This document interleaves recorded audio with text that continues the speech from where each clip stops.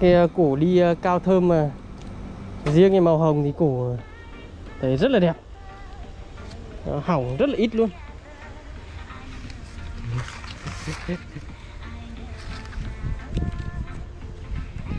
Củ thì rất là chắc chắn. Mầm nhìn nó gọn gàng, rất là cứng luôn, cứng đét luôn. Nhìn nó gọn thật. Mầm nó mọc nó cũng khá là mập và nó kiểu mọc nó chắc chắn vì nhiều kiểu ờ, cái củ hoặc là cái màu ấy nó củ nó tròn vin thì xong là mầm nó sẽ mọc lên và rất là dễ khi vần gãy khi mà ờ, vận chuyển hoặc là di chuyển. Như củ thằng này thì rất là chắc chắn cái vảy nó chắc cầm lên chắc chắn luôn. Và cái tỷ lệ hỏng rất ít mốc cũng rất là ít mốc luôn thường màu vàng thì ờ, thường nó sẽ mốc nhiều hơn. Thằng này thì được nhìn được nói chung là được.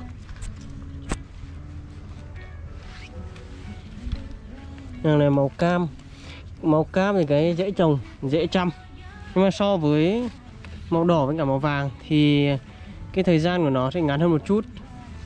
Đấy, màu lên thì cũng được.